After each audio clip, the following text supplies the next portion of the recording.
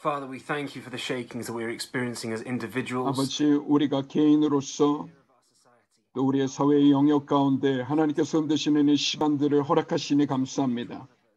주께서 우리 각 사람을 주님의 원하시는 대로 주님의 뜻 가운데 정렬되게 하시고 우리의 역할과 하나님 우리에게 주신 모든 권위와 모든 영역 가운데 하나님 주님께서 원하시는 곳 가운데 재정렬되게 하여 주십시오.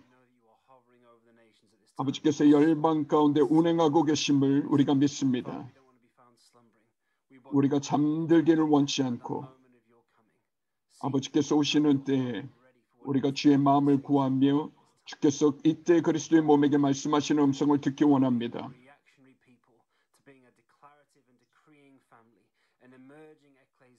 우리가 에클레시아로서 함께 일어나며 하나님의 나라가 이 땅 가운데 임하시는 것을 선포하고 하늘의 이 땅을 침공에 들어오는 것들을 보기 원합니다.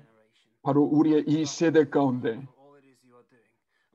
아버지께서 행하시는 모든 일들을 인해 감사하고 아버지의 음성에 순복합니다.